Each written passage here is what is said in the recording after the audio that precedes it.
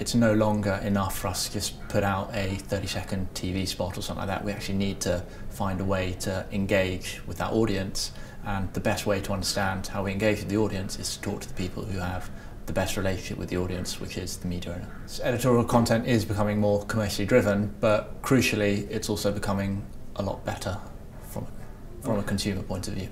Explain that.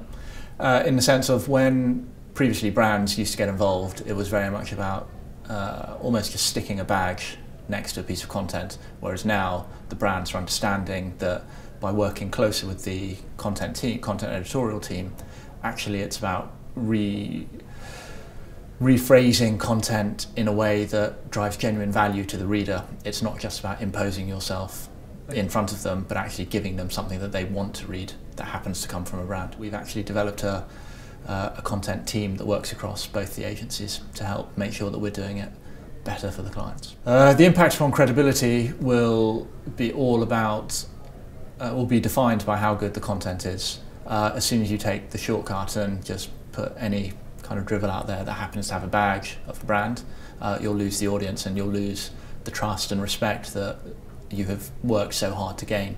So don't allow brands to steamroll you.